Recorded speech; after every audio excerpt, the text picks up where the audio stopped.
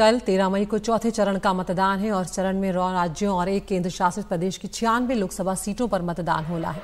कल आंध्र प्रदेश और ओडिशा में विधानसभा चुनाव के लिए भी मतदान होगा।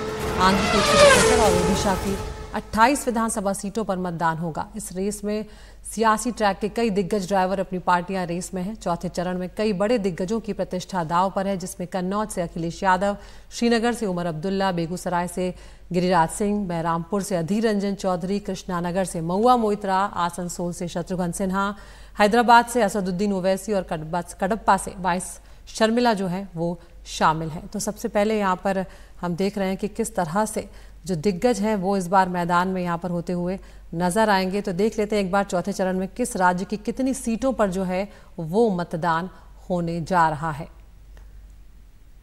तो छियानवे सीटों पर मतदान होगा और अगर 2019 के चुनाव की बात करें तो इन छियानवे सीटों में से ज़्यादातर सीटों पर बीजेपी ने ही कब्जा जो है वो जमाया था। तो आप देख सकते हैं यहाँ पर आंध्र प्रदेश की 25 सीटों पर चुनाव होने जा रहे हैं। बिहार जो है उसकी पाँच सीटों पर होंगे, झारखंड में चार, जम्मू और कश्मीर में एक, मध्य प्रदेश का कल आखिरी चरण का मतदान है। आखिरी आठ सीटों पर मतदान होने जा रहा है। महाराष्ट्र में ग्यारह, ओडिशा में चार, तेलंगाना में सत्रह, उत्तर प्रदेश तेरह, पश्चिम बंगाल में आठ सीटों पर मतदान होने जा रहा है।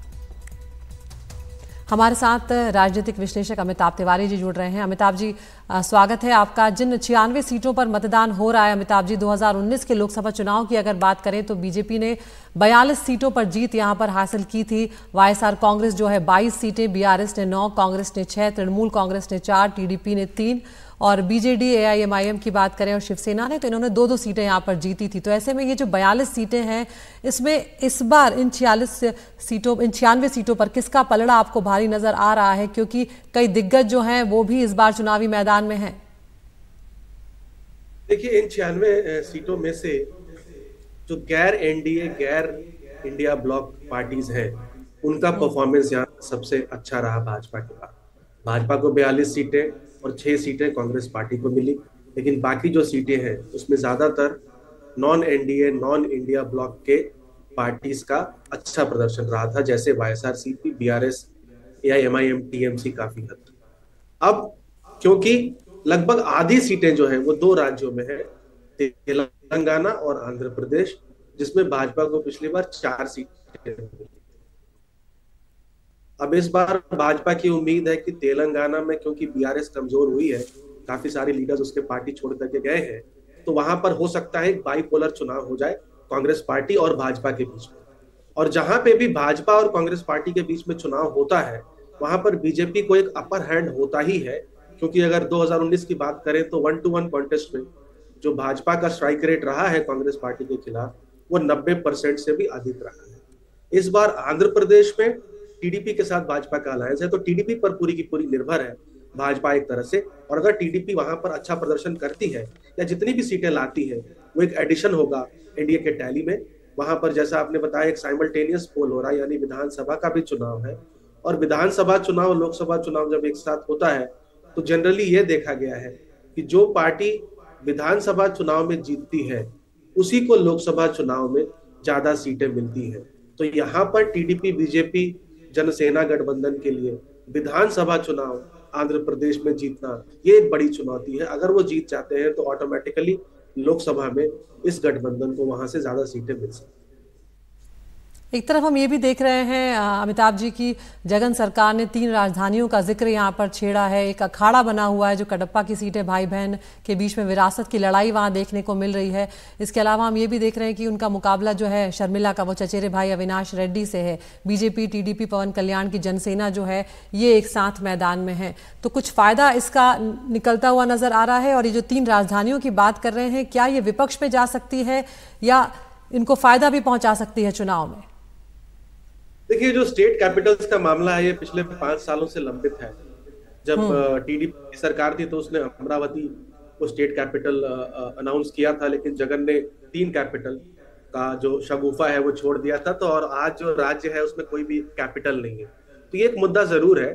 जैसा आपने कहा शर्मिला जब से स्टेट कांग्रेस प्रेसिडेंट की अध्यक्ष बनी है तो कांग्रेस पार्टी जो वाईएसआर सीपी का जो कोर वोट ब्लॉक है रेड्डी समाज S C S T minorities इसमें सेंधमारी की कोशिश कर रही है। और अगर कांग्रेस पार्टी थोड़ा बहुत भी अपना वोट शेयर बढ़ाती है तो वो सीपी को नुकसान करेगी।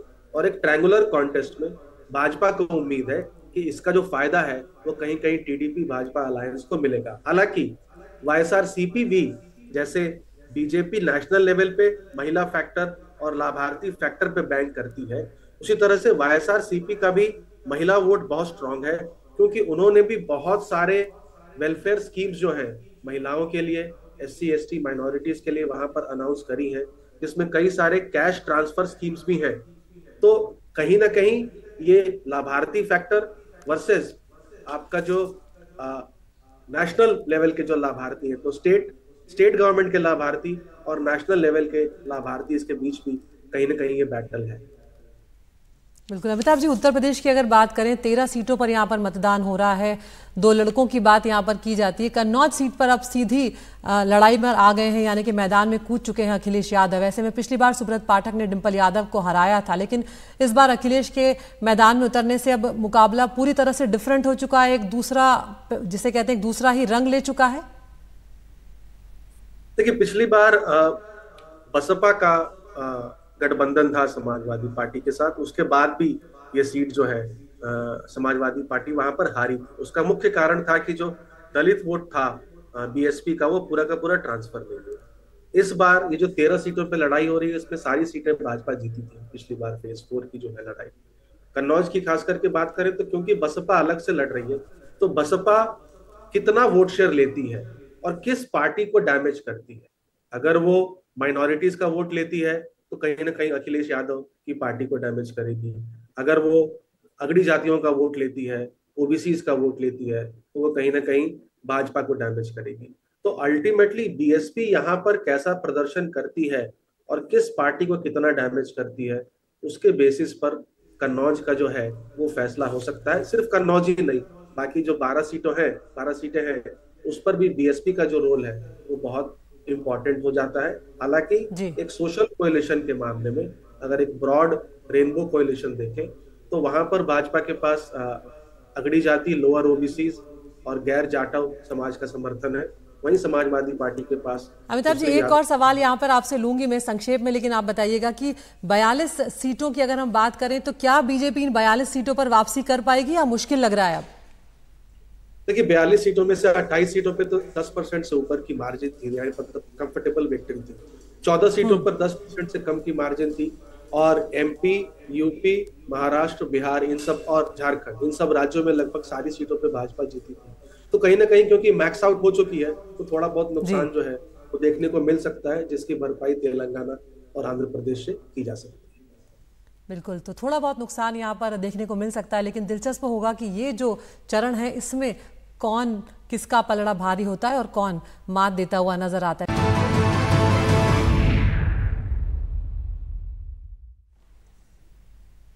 राहुल गांधी का एक बयान इन दिनों चर्चा में बना हुआ है। राहुल गांधी ने लखनऊ में एक प्रेस कॉन्फ्रेंस करते हुए ये कहा कि उनकी पार्टी कांग्रेस से भी कई गलतियाँ हुई हैं।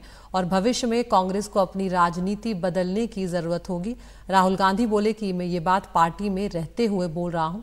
हालाँकि राहुल गांधी ने इस मुद्दे पर अपनी बात को आगे नहीं बढ़ाया, उन गलतियों का ज़िक्र नहीं किया और ये नहीं बताया कि वो कांग्रेस की किन गलतियों की बात कर रहे हैं। इस मौके पर राहुल गांधी ने यह भी कहा कि उन्हें सत्ता का लालच नहीं है, लेकिन जनता की सेवा के लिए सत्ता पाना भी ज़रूरी है। साथ ही उन्होंने ये दावा भी किया कि बीजेपी 180 सीट से ज़्यादा नहीं जीत पाएगी। हमारे साथ इस वक्त खास मेहमान जुड़ रही है। बिज़नेस स्टैंडर्ड की राजनीतिक संपादक अदिति फडणवीस जी जुड़ रही हैं। अदिति जी स्वागत है आपका। यहाँ पर एक राहुल गांधी का जो बयान है, ये आपने भी सुना होगा। बीच चुनाव के बीच में कांग्रेस की गलतियों की बात करना और कहना कि हम ये मानते हैं कि हमें अपनी राजनीति जो है उसे बदलने की ज़रूरत है ये अपने आप पे बहुत बड़ी बात है। लेकिन किस तरह से इसे राजनीतिक हलकों में देखा जा रहा है किस तरह से क्या ये कहीं सहानुभूति इकट्ठा करने की कोशिश तो नहीं नज़र आ रही है?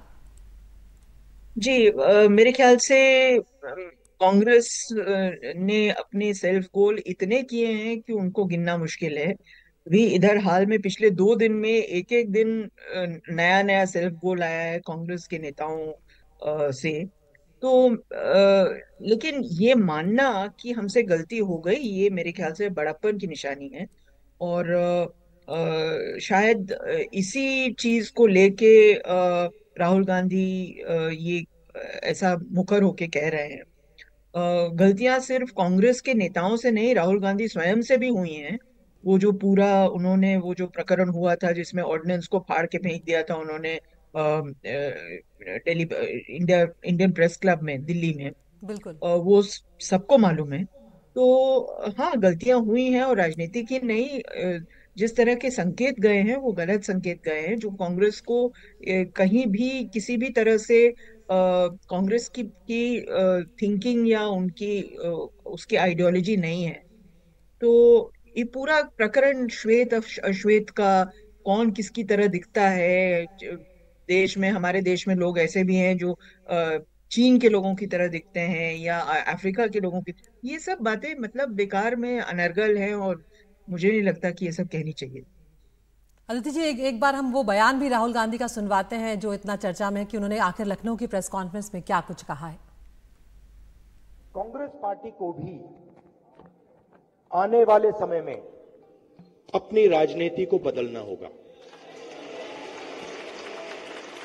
ये ये करना पड़ेगा। और और ये भी मैं कहना चाहता हूँ कि कांग्रेस पार्टी में भी, ने भी गलतियाँ की हैं। और मैं कांग्रेस पार्टी का होता हुआ ये मैं कह रहा हूँ। अति जी, यहाँ पर गलती स्वीकार करना भी बड़ी बात होती है, लेकिन कांग्रेस की तरफ़ अगर देखा जाए, पिछले कुछ चुनाव की बात की जाए अलग अलग राज्यों को अगर देखा जाए तो किस तरह की खींचतान, किस तरह की अंदरूनी कलह जो है, वो लगातार देखने को मिल रही है। और सबसे बड़ा सवाल जो कांग्रेस पार्टी के ऊपर उठता है, वो यही उठता है कि नेतृत्व जो है, वो दिशाहीन नज़र आता है, कोई रणनीति नज़र नहीं आती। और शायद इस गलती पर तो कांग्रेस पार्टी ध्यान देती हुई नज़र आती नहीं है यहाँ पर। एकदम ठीक कह रही हैं आप। मेरे ख्याल से सवाल दिशाहीनता का नहीं है दिशा तो है लेकिन कांग्रेस का शीर्ष ने, नेतृत्व लोगों से बहुत दूर है। और ये ये बयान सभी लोग वो वो सभी लोग दे रहे हैं जो कांग्रेस छोड़ के चले गए हैं कि जब हमें मिलना होता है जब हमारे सामने दुविधा होती है तो शीर्षस्थ नेता कहीं दिख, दिखते नहीं है और मिल नहीं पाते उनसे। तो मेरे ख्याल से ये सबसे बड़ी गलती है जो कि सुधारनी पड़ेगी कांग्रेस को। जब मिलते भी हैं तो ऐसा लगता है कि किसी और चीज़ में व्यस्त हैं वो आ, बात नहीं सुन रहे हैं। आ, ये सभी नेता कह चुके हैं। हो सकता है कांग्रेस को छोड़ के कुछ कहना एक बात है और कांग्रेस में रहते हुए आ, कहना दूसरी बात है। लेकिन इसमें भी कोई शक नहीं है कि जब जी ट्वेंटी का पूरा जी ट्वेंटी थ्री जब पूरा गुट कांग्रेस को चेताता रहा कि आप अपनी कार्यशैली बदलिए। तो उसके बाद सबसे बड़ा उसका मैसेज ये था कि चुनाव करवाइए एक पार्टी में और नीचे तक चुनाव करवाइए। और ये तो हुआ नहीं। तो सीडब्ल्यूसी का चुनाव नहीं हुआ है, पार्टी के, की इलेक्शन कमेटी वैसी की वैसी बरकरार है। तो ये सब चीज़ें हैं और मेरे ख्याल से ये सब चीज़ें भी बदलनी पड़ेंगी। जी, अदिति जी, एक बात और बताइए, क्या जब चुनाव के बीच में नेताओं के और इस तरह के कद के नेताओं के अगर बयान सामने आते हैं तो क्या वोटरों को प्रभावित करते हैं? वोटरों पर फ़र्क पड़ता है?